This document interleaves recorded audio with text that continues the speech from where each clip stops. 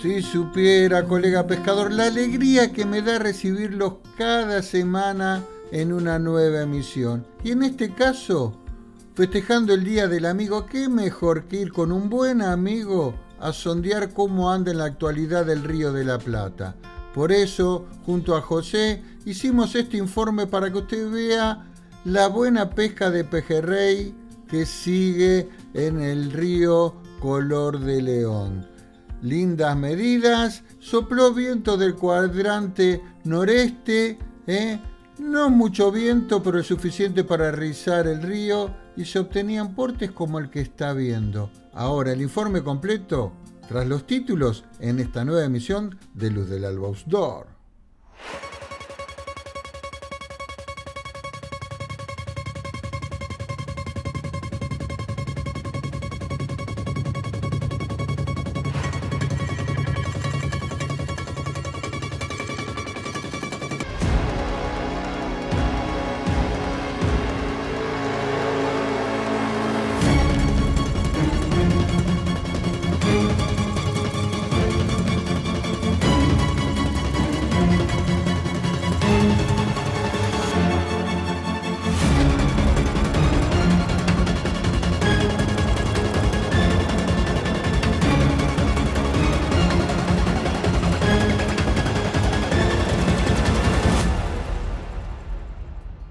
Súmese, siéntase al lado nuestro en la embarcación de José pescando estos pejerreyes que nos regala el río de la Plata.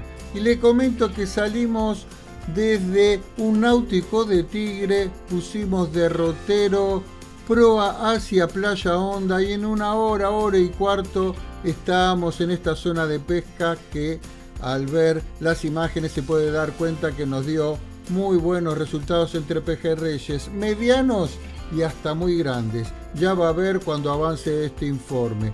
La carnada, clásica mojarra viva, mojarra salada y filet de dientudo. Muchas veces combinamos filet con mojarra y también teníamos buenas respuestas. En un ratito seguimos y ahora me voy en busca de Diego de las 3K para que nos hable de las características técnicas del Captor Field. Hola Marcelo querido, aquí estamos nuevamente entre la gente de Luz del Alba. Hoy vamos a ver en detalle uno de los modelos Big Game de nuestra línea Kumasai. Este modelo nos acompaña hace varios años y realmente ha cumplido con la demanda de los usuarios en las pescas más exigentes. Nos referimos al modelo Captor Field 300 de línea Low Profile o dicho en nuestro idioma, modelo de perfil bajo. Este tipo de reel rotativo mantiene las características mecánicas internas de los modelos de perfil redondo, siendo realmente fuerte ante las exigencias de pesca más extremas y sumándole algún nuevo componente, como por ejemplo el freno centrífugo de última generación, que evita el exceso de vueltas de carretel al momento del lance. Este cuenta con un regulador interno de 6 puntos para seleccionar la intensidad del centrífugo que uno desee. Comenzamos a nombrar los aspectos sobresalientes de este producto. Una de ellas es la muy buena cantidad de carga que le entran en su carretel. De monofilamento le entran 200 metros del 0.33, en el caso de multifilamento le entran 200 metros del 0.25, permitiéndonos utilizarlo en varias modalidades, entre ellas hacer trolling, ya que las capacidades son similares a los rotativos de tamaño 6500. Al momento de realizar pescas muy pesadas, el modelo Captor Field cuenta con una manija de fuerza para intercambiar por su modelo básico y en el momento que deseamos realizar alguna pesca pasiva con carnadas, tiene alarma de pique o como la conocemos comúnmente, la tan amada chicharra. Distribuidos en su interior vienen 7 rulemanes de procedencia japonesa y que además tienen doble blindaje, en especial los rodamientos que están más expuestos, que son los que corresponden a los extremos del carretel, vienen con una arandela de goma para evitar que entre suciedad. Su devanador tiene un labio de circonio que está transportado por un carril de doble guía ofreciéndonos una perfecta estabilidad y además su sistema se desconecta al momento de lanzar. Tanto el control de freno de carretel como su estrella alivianada tienen clicker y accionamiento progresivo, dando funcionamiento a un poderosísimo freno de 18 libras. Su anti-reverse es instantáneo y la velocidad de recuperación es de 6.3 vueltas de carretel por cada vuelta de manija. La tapa es de fácil desarme y viene con un tornillo de seguridad para evitar que se abra accidentalmente. El cuerpo está construido en magnesio y tiene una manija con perillas de aluminio e incrustaciones de carbono que son materiales muy fuertes pero de bajo peso a la vez. Así tenemos un producto muy ágil a la hora de movernos. En cuestiones de estética, la pintura de carbono con la que está recubierto nos da una gran resistencia a los rayones y perdura inalterable por mucho tiempo. Recuerde que la línea Kumasai tiene garantía total por defecto de fábrica y un servicio postventa para solucionar cualquier contingencia que surja al cabo del tiempo. ¿Dónde van a encontrar todo esto? En las mejores casas de pesca distribuidas a lo largo de todo el país. Muchísimas gracias Marcelo, un gran abrazo a la gente de Luz del Alba. Nos vemos en la próxima. Seguimos gareteando la zona de Playa Honda, junto a José, realmente una pesca muy entretenida. Y lo que podemos dar como recomendación que probamos ese día, siempre recomendamos pescar con una línea con dos boyas más un puntero de los denominados bigoteras. Pero fue mucho más efectivo, más atrayente la línea que tenía. Tres boyas y sumarle una puntera del tipo bigotera también. Lógicamente es más difícil de manejar la línea sobre todo con mucho viento, pero la efectividad es mucho mejor. A tener en cuenta. Bien, José, se rizó un poco más el río y respuesta uno tras otro. ¿eh? Como pueden observar, tuvimos varios dobletes, también capturas de algunos patíes que abundan en estos momentos en el Río de la Plata, algunos dientudos que nos sirvieron para filetear y encarnar. Esta es una muy buena carnada también. Esperábamos los troncos del río, las flechas de plata grandes que todavía no se hacían ver. Pescadito de 600, 700 gramos sí, pero faltaban los que arañaban el kilo. Yo le prometo que en un ratito los vamos a tener.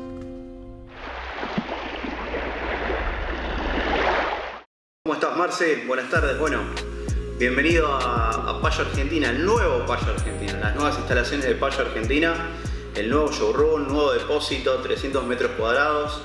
Y te invito a, que veas la Premium, ¿sí? la novedad de Payo Argentina para este invierno es lo que está rompiendo el Río de la Plata y lagunas para Pejerrey la nueva biotera premium de Payo Argentina en madera, ¿sí? Una biotera de Kiri, ¿sí? De 25 centímetros aproximadamente, con un peso de alrededor de los 28 gramos, ¿sí? Acá mostramos el proceso en particular, recién, recién salía del torno, ya en el segundo paso con un lijado hermoso, ya, si lo podíamos barnizar de esta manera ya quedaría una olla de lujo. Y ya en el último caso, ya la biotera terminada, ¿sí? con el alma de acero enteriza, con los dos esmerillones de bajada. ¿sí? Esta la vamos a presentar en cuatro colores. En este caso la verde y negra, va a estar la clásica española, la naranja flúor y la amarilla flúor. ¿sí? Obviamente esto va para, para líneas de dos goyas y yo te digo Marce que esto de 10 piques que tenemos en la línea, 9 se lo lleva la bigotera. La verdad que quedó un producto hermoso, hiper funcional, hiper sensible al pique. Esto trabaja de esta manera. Si lo usamos en el Río de la Plata, yo lo usé mucho en el Río de la Plata, en, la distancia se ve muy bien porque al rotar, una vez que toma el, el pez, el pejerrey, una vez que toma, hace rotar la boya, aunque sea un pique muy sutil, hace rotar la boya o la para, ¿sí? Pero ya con esa pequeña rotación y el cambio de color que uno puede llegar a ver, en el caso de la boya bicolor, la clavada es segura, ¿sí? De 9 piques, de 10 piques, 9 seguro van bigotera. Así que hiper contentos con este producto, la verdad está, está gustando muchísimo a la gente y los invitamos a todos a que vayan a la casa de pesca amiga a conseguirlas y a probarlas, ¿sí? después mandarnos las fotos con, con sus capturas. Si buscas la variedad más rica de la Argentina, tu opción está en Esquina Corrientes, en manos de Fly en Esquina. Servicio completo para el pescador con lanchas totalmente equipadas para todas las modalidades como ser fly fishing, trolling, spinning y la tradicional pesca con carnada. Además, todas las comidas y sumale también cabañas equipadas por completo. También podés decidir ir en busca de los grandes al norte correntino. Fly en esquina te espera para que disfrutes, che amigo. Te esperamos en la Feria de Caza, Pesca y Outdoors. Armas 2022 con las novedades y tendencias para tu deporte favorito. Pesca, tiro deportivo, náutica, cuchillería, indumentaria, turismo. Visítanos del 13 al 21 de agosto en el predio de la Rural.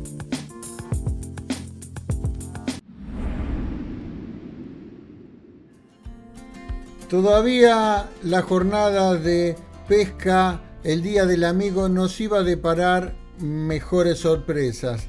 Más allá de buen pique, se dieron algunos portes que realmente es lo que uno va a buscar al Río de la Plata, la zona norte, que son estos ejemplares hermosos que realmente dan mucha gratificación cuando los podemos izar en la embarcación.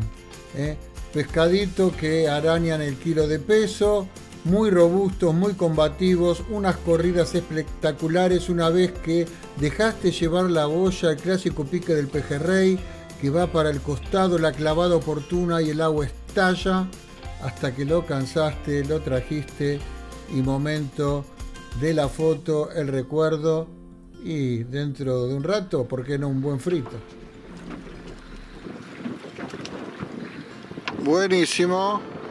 Arañando el kilo. El orgullo de Luz del Alba estaba en peligro, entonces decidí ir por todo. En mi puntera bigotera fabricada caseramente con un paternoster, decidí en su anzuelo poner dos mojadas enhebradas vivas y rematar mi anzuelo con un filet bastante largo con mucha movilidad de unos 8 centímetros y esta fue la feliz, feliz sorpresa que me llevé con tanta ilusión, con tanta fe que le tenía a este encarne, subí un peje que también arañó o levemente superó el kilo de peso. Gran satisfacción a bordo, la alegría de los dos y fue un colorario magnífico para el Día del Amigo. Tremendo pescado, Marcelito. Hermoso pescado.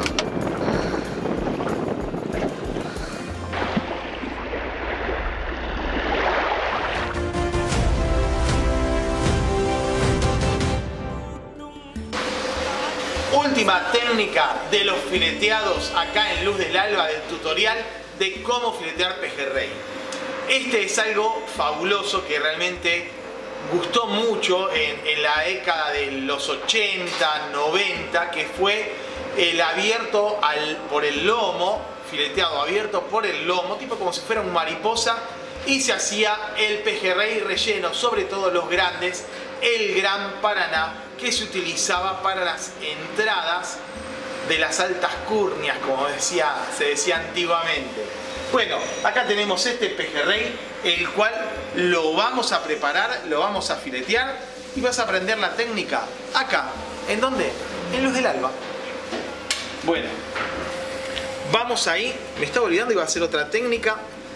Buscamos el medio del pejerrey, el lomito, introducimos la punta del cuchillo y vamos a ir trabajando el cuchillo hasta el final de la cola del pejerrey. Ahí vamos abriendo, vamos a ir contorneando la espina. ¿Mm? Despacito, esto requiere un poco de trabajo, pero no es nada, nada, nada difícil. Ahí venimos hasta el final del pescado. Hacemos lo mismo por este otro lado por arriba del espinazo ahora le toca. Se aprecia, ¿no? Con cuidado, con paciencia. Ahí. Ahí vamos contorneando todo. Despacito, fíjate. Por ahí. Si se te va el cuchillo un poco, no importa porque la carnecita del pejerrey queda igualmente adentro. Ahí está. Prácticamente ya de esta forma lo despinamos. Muchos la conocen esta técnica, pero para aquellas personas que no la saben, hoy acá en Luz del Alba te la vamos a enseñar. Bueno, venimos hasta acá, ¿qué hacemos? Ahí pasamos para el otro lado, ¿ves el espinazo? Pasamos para el otro lado, vamos a cortar, cortamos ahí y despacito vamos a ir levantando. Llegamos hasta la cabeza del pescado, fíjate ahí, ahí vamos a cortar, ahí quebramos. ¿eh? Cortamos ahí y ya sacamos el espinazo. Con una servilleta o un papel absorbente, lo que hacemos es limpiar el resto de las vísceras que quedaron. De este otro lado lo que vamos a hacer es quitarle los opérculos o las agallas para muchos. Ahí está. Una preparación más de los fileteados y despinados acá. ¿En dónde? En los tutoriales de Luz del Alba.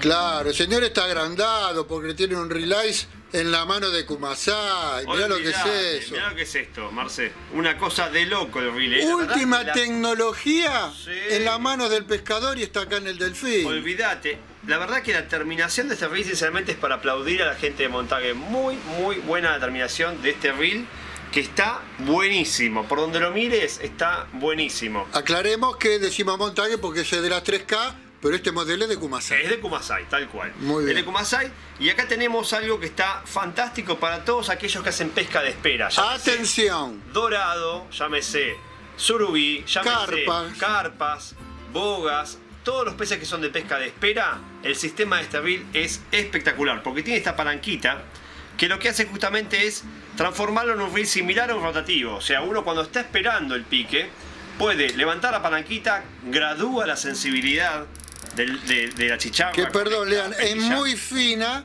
muy fina, ¿eh? que la podés regular a tu gusto. Exactamente. Regula la sensibilidad y el reel se queda en modo espera. Quiere decir que cuando uno tenga pique, va a llevarle tanza y va a escuchar, ahí va, la alarma de pique. Sí, señor. Y cuando uno desee, va a o bajar la palanca o mover la manija y se va a bajar la palanca automáticamente. Y ya el reel va a volver a enganchar con el freno delantero y va a volver a transformarse en un reel frontal tradicional.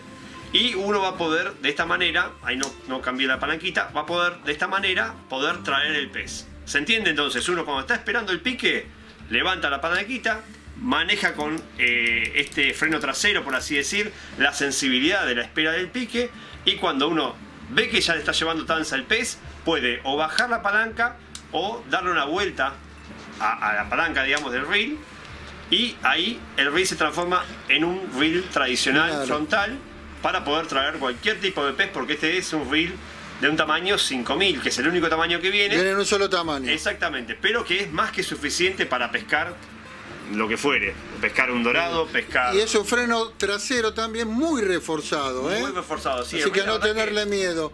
Muy bien. Vos dijiste que el pez lleva, El pez lleva. y yo también. Bueno, Te agradezco. Cuatro rulemanes, no lo dijimos. Cuatro rulemanes. Kumasai Relax. Relájate. Saluda a Goli, ¿eh? Dale, Hasta chao,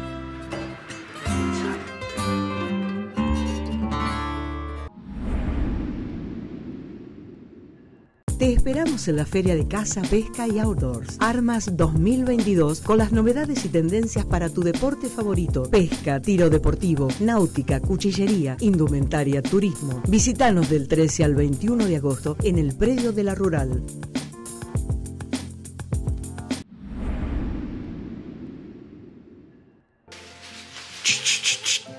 Eh, ¿Cómo va? Marcelito, ¿por dónde estás? Viste, güey, es que estoy más verdad, delgado, estoy más delgado, no me viste. No se te escucha. Sos una sombra. Sí, sí, esto es nuevo. Esto es, no es nuevo, pero es una prenda que estamos trayendo ya desde varios años de, para el invierno. Esta sirve para verano, es un rompeviento liviano que anda muy bien para navegar. Los veo muy reforzados, los bolsillos. Exacto. Después tiene un detalle muy importante, dos o tres que te los voy a, a detallar porque ¿Cómo es no? importante. Por favor. Esto es el hombro y vos fíjate que son mangas no están cosidas como todas que tienen costura, que entonces normalmente filtran por acá en este tipo de Ajá, rompimiento. Es una pieza sola. Esto es una sola pieza, eh, no tenés ninguna costura. La primera que baja es esta acá en el medio. Después tenés los bolsillos, vienen con cubre solapa, cosa que el agua filtre por afuera y no se metan adentro de los bolsillos. Y después, bueno, los clásicos puñitos con, Con velcro, velcro, ¿eh? los ajustás bien, entonces no- tampoco, para el que anda en moto, el que anda en lancha, viste que la velocidad siempre se filtra, evita muchísimo eso. Y después tiene Solapita una para el cierre, y- también veo. capucha incorporada sobre el mismo cuello. Anda muy muy bien. Y después- decía la solapita esta que cubre también el Ah, cierre. el cierre. Muy bien. Y después otra cosa muy importante que es esto, para el pescador sobre todo o el náutico, un pre pantalón de esquí. Esto se pone arriba del chino, del jogging, viene con bolsillos con cierre. Se seca re rápido. rápido, una muy buena tela, toda tela de cordura. Mira las terminaciones, forros de nylon del otro lado. Es espectacular. Y tiene para sujetar, para apretar, eh, ¿no es En cierto? el Abajo. fondo, sí, también. Viene con velcro para. Ah, no, No. en este caso no, no viene. Viene Viene, con- con... elástico para cerrarlo. Entonces, Muy bien. Está muy, muy bien hecho. Para apretar la bota, si se quiere también. Exacto. Arriba abajo la Y- bota.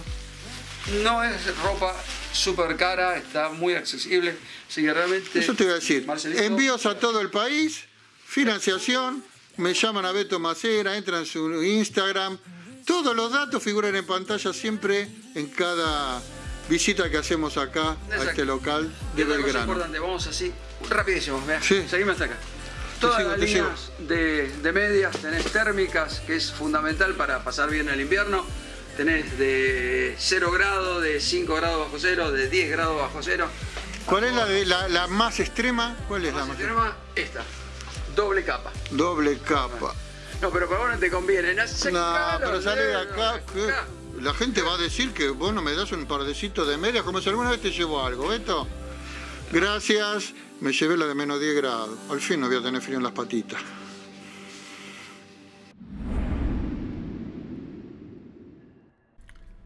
La jornada iba culminando, era casi la hora del regreso. Nosotros seguíamos izando pejerreyes de distintas medidas, la mayoría lindos portes, promedio 400, 500 gramos ese día. Constantemente teníamos que ponernos la campera, sacarnos la campera porque paraba el viento, hacía un poquito más de calor, volvía el viento, volverse a abrigar. Constantemente durante el día tuvimos calma y tuvimos viento, es lo que hacía momentos de mayor pique y de menor, lógicamente. Pasamos un día formidable, el agradecimiento a José muy especial, constantemente preocupado porque eh, tenga todo a mi alcance para disfrutar de esta jornada de pesca entre amigos que prometimos volver a hacer. ¿eh? Así que vamos a volver a estar en el Río de la Plata muy pronto, trayéndole imágenes a ustedes nuevamente de este río que tantas satisfacciones nos da a los pescadores deportivos.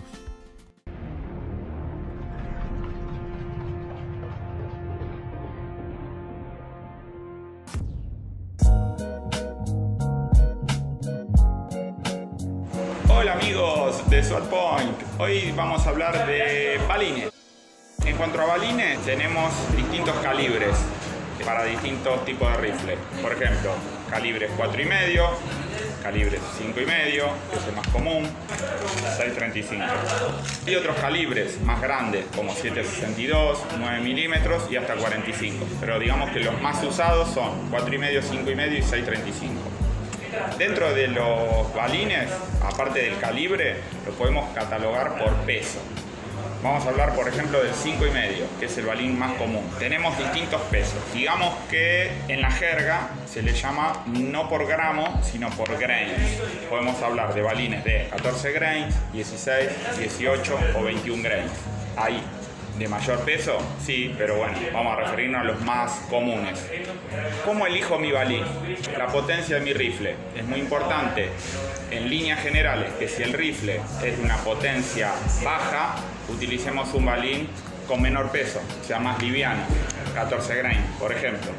Si el rifle es de una potencia media, hablemos de 700 pies, 750 pies, podemos utilizar balines de 16. Si el rifle ya es más potente, arriba de 850 pies, ya utilizaríamos balines de 18 grains. Y si vamos a hacer una caza mayor con un rifle de muchísima potencia, podemos utilizar un balín mucho más pesado para tener mucho más joule de impacto. En líneas generales, rifle con poca potencia, balín más liviano rifle con mayor potencia, puedo cargarlo más utilizar balines con mayor peso para tener mayor impacto. Ah, hablamos de calibres y ya hablamos de pesos de municiones. Ahora vamos a hablar de las distintas formas de municiones. Eh, por suerte hay muchísimos modelos de balines en este momento, cosa que hace unos años atrás no ocurría. Tenemos balines hoy para hacer distintas cosas. Tenemos balines, por ejemplo, de punta plana, tenemos balines perforantes, tenemos balines de punta hueca, tenemos balines de punta sólida. Y tenemos además un montón de variantes para hacer distintas cosas con nuestro rifle. El balín más común que se usa ahora se le dice conic, se le llama conic. Acá tenemos uno de ellos con una forma bastante en punta, bastante aguda. Luego tenemos otro balín de otra marca con una forma llamada domer o de hongo. Y después tenemos el famoso barracuda de H&N con una forma distinta, todos dentro del mismo, digamos, del mismo grupo. Estos balines son ideales para caza de cuero o de pelo. Eh, los tenemos en distintos valores, en distintos precios y con distintos pesos para utilizarlo en distintos tipos de rifle. ¿Te gustó el video? Bueno, ponele like y suscríbete a nuestro canal apretando este botón.